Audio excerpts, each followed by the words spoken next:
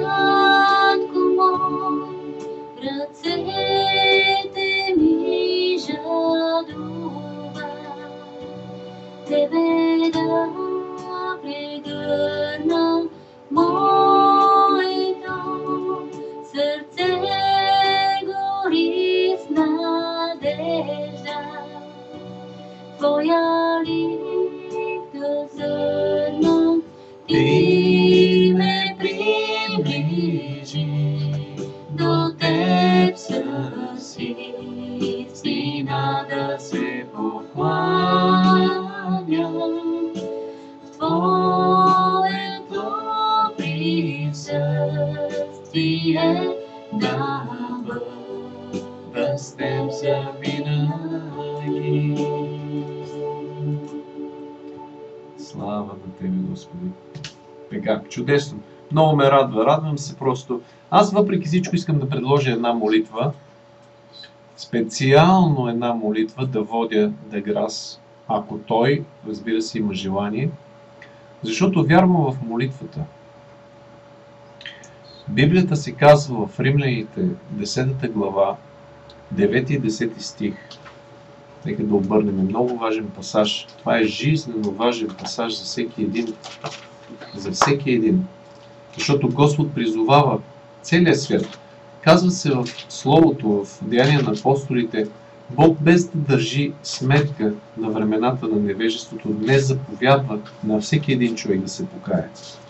Това е заповед за всеки един. И за това искам тук да обърна внимание на Римляни 10 глава 9 и 10 стих. Защото ако изповядаш с устата си, че Исус е Господ, и повярваш със сърцето си, че Бог го е възкресил от мъртвите, ще се спасиш. Със сърце вярва човек и се оправдава, и с уста прави изповед и се спасява. Тоест вярата в сърцето, изповедта на устата, моли се на Бога и Бог може да спаси твоята душа. Да. Добре, нека сега да се помолиме. Мими, ти имаш ли нещо да кажеш, да прибавиш между другото? Стори ми се, че имаш нещо да кажеш по въпроса. Аз просто искам да насърча този човек, защото всеки един от нас преди да повярва, просто е бил като него. Ние не сме някакви по-особени или странни хора.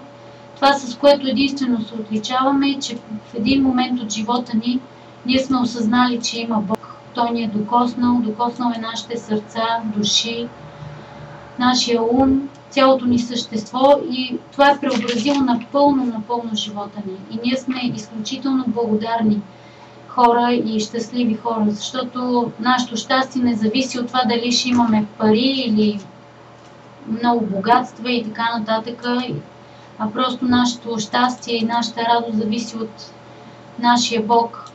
И най-важното е, че ние живеем с една велика надежда, че един ден, след като премине този живот, просто ще отидем в царството на нашия Бог. Тъй като душата е безсмъртна. Тялото един ден ще изгние нали, в гроба, но душата е безсмъртна. Тя, тя или отива при Бога, или е завинаги просто извън присъствието на Бога, което е много страшно. Така че ние всички просто сме направили този избор в нашия живот. Амин. Амин. Благодаря ти. Сега, преди да продължа с молитвата, искам да кажа на сестрата, тук беше писала, сестрата от Холандия беше писала няколко пъти, че а, нейният мъж има тумор, мисля, че ня, не някаква бучка, бучка в а, гърдите някъде каза, че има.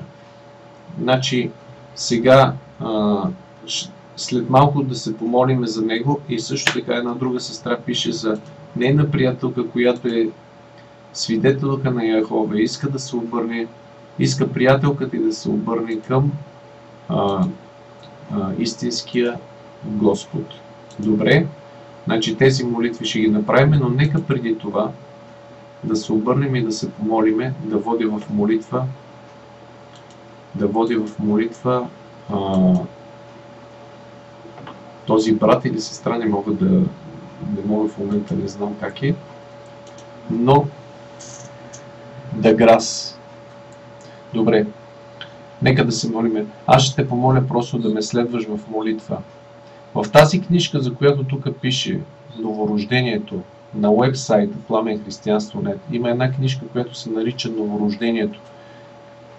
Ще намериш там при книгите на Пламен и тази е най-важната книга, с която трябва да започнеш. Защото колкото е важно човек да се роди, за да дойде на земята, толкова е важно човек да се роди от Бога, за да отиде на небето. Нека да те водя. Кажи сега, Боже, прости на мене грешника. Аз се отричам от неверието и приемам с вяра Исус Христос за мой Господ и Спасител. Вярвам, че Той е Божия Син, който умря за моя грях и възкръсна за моето оправдание. Покайвам се за греховете си. Покайвам се за неверието. И се обръщам към Тебе. Спаси душата ми. Дай ми вечен живот. Направи ме нов човек. И Ти стани мой баща и аз Твое дете. В името на Исус. Аз Ти благодаря и Ти отдавам слава и хвала. Амин. Бога ти благослови, брат. Ако ти си се помолил с вяра, с разкаяно сърце и с вяра в Бога, си станал нов човек в Господа Исус.